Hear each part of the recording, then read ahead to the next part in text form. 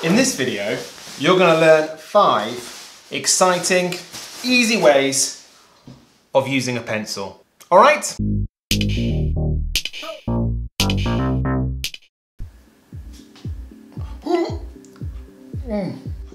It's a stupid trick. Anyway, if you are new to my channel, then hello, my name is Art John and I'm an artist and an educator and I've been an artist educator for years. I've worked in schools, museums, galleries, all of that, and I want to give away all my tips and tricks so that you get fantastic art lessons that are, and so here's the thing. We teach pupils pencil skills, but we teach them pencil skills about writing. And that's really important to understand when it comes to drawing. For example, you know how when you give your pupils a piece of paper and you want them to do a really nice big drawing and they draw a tiny little picture in the center, well, that's because they're using their writing technique to create their picture. And so they're restricted to small shapes and a small area because they're only using their wrist and their fingers. But artists use their shoulders, their elbows, they use their whole body to create shapes and to create lines. So in this video, I'm gonna give you five activities or simple techniques that you can use to get pupils using their pencils in a different way so that when they approach a drawing activity, they've got lots of options of how to use a pencil. Always buy more pencils than you think you need because pencils are cheap and your time is not. And there's nothing worse than when you're in the middle of an art activity and you're trying to say something to someone and you're when you're constantly when you're constantly interrupted by the sound of people sharpening. So the best thing to do would be to have a box full of pre-sharpened pencils, brand new pencils, and then when they need a pencil sharpening, they just take a new pencil, and put their older pencil in another box. Then when all the pencils need sharpening, you do it in one go. It's far more time efficient. You could probably give it to a pupil as a reward because they love sharpening pencils and then you just start the cycle again. It will save you loads of time and patience and frustration. All right? Actually, and I forgot to say this before, it will stop these nightmare pencils from appearing in your classroom. Kids love them, they look like little trinkets, but they're not going to help your pupils do a drawing. But if you do have them in your classroom, don't get rid of them, drill a little hole through them, string them up, and you've got a brilliant necklace. In fact, uh, wait a minute.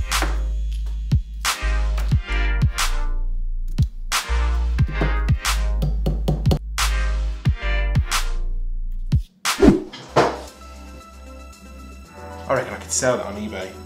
Art John Original. Leave a comment below if you want to buy. um, okay, so the first activity is the mouse grip, and we're going to use the mouse grip to support our shading skills. And the reason why I call it the mouse grip is because we're going to hold the pencil kind of like how we hold a computer mouse. So this is how we usually hold a pencil in the triangle grip, but instead you want to hold the pencil like a computer mouse. From the top down so that your index finger is at the sharp end of the pencil. Put the pencil to the paper and push down with your index finger. Use your elbow to pull back the pencil as you shade and gently lift the pressure of your index finger to make the shading lighter.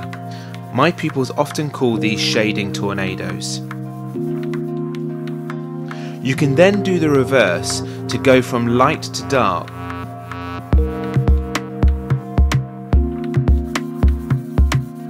Even from dark to light and light to dark again. Okay, so next up, ah, oh, oh, oh, dear me. Okay, so next up we have one of my favourite activities, and this activity is kind of like a starter activity, and it's called Find the Triangle. This activity is so simple, you're going to love it. All you need to do is put a load of dots randomly on your page. Then with a ruler, join any three of these dots together to make a triangle.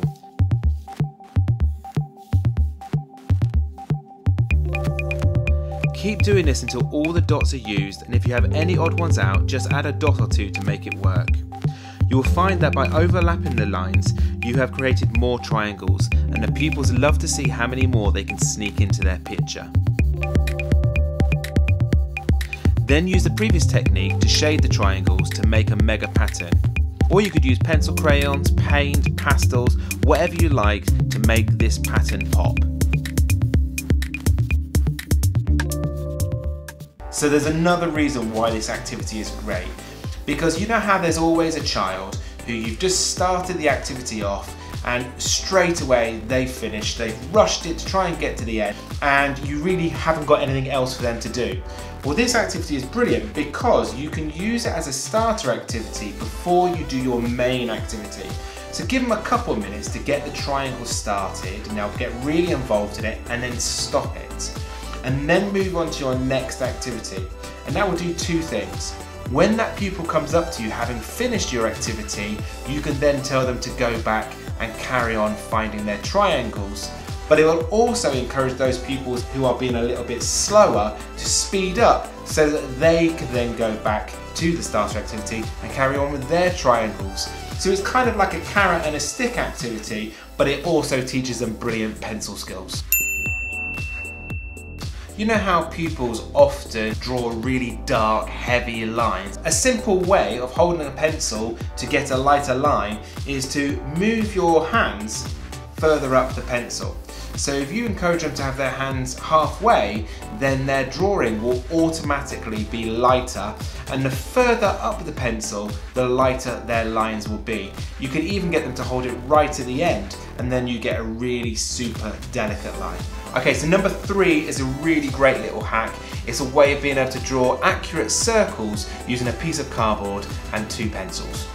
So to do this, you need to grab yourself any old piece of cardboard. I find that the school canteen will always have plenty left over from their food deliveries. Trim the card if you need to and draw a line across the middle. Pop both pencils through the cardboard anywhere along the line.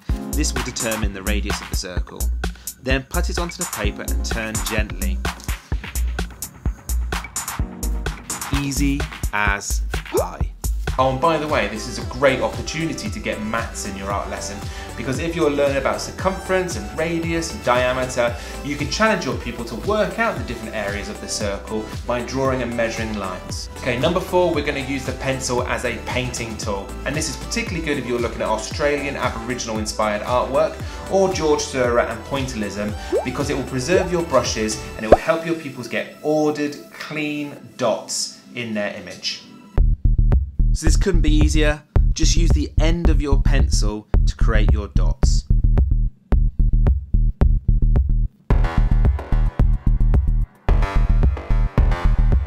Have a paper towel ready so that they can clean the end of the pencil when it gets built up with too much paint and then they can just carry on.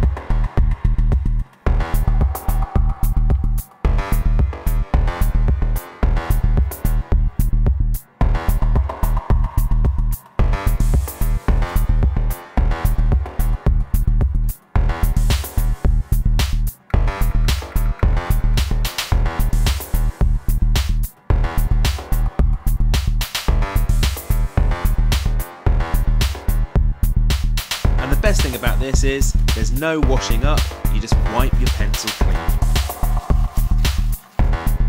Okay, number five, the final activity is to make drawing more difficult. And I know that sounds really counterintuitive because we obviously want to make drawing easier for the pupils. However, if you make the drawing more challenging, it will change the way pupils understand a pencil. A perfect example of how to do this would be to try to get the pupils to make a drawing with a hand that they don't normally use. It'll be difficult, you'll get some protests, but straight away you will see that the pupils start using their shoulder and their elbows much more because they can't rely on the dexterity of their hand that they are used to. And so we want pupils to be thinking of drawing as a whole body act because drawing is a kinetic activity.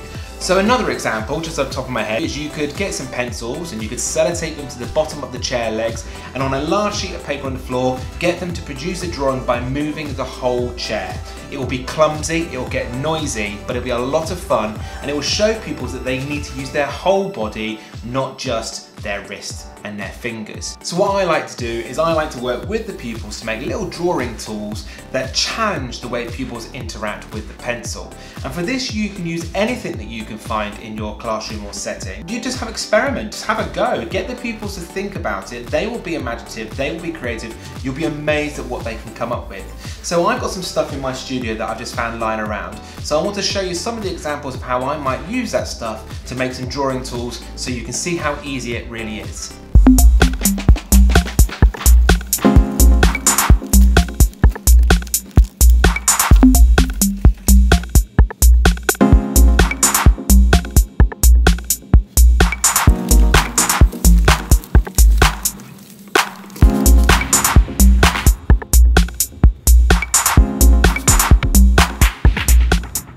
So if this video has been valuable to you, then great. In that case, could you do me a favour? Could you make sure that you like and share this video, particularly amongst your teacher friends? And if you want to be kept in the loop when I upload new videos, make sure you hit the subscribe button and that little bell logo, and that way you'll get an email. So thanks a lot for sticking around, and as a reward, here are some corgis running in slow motion.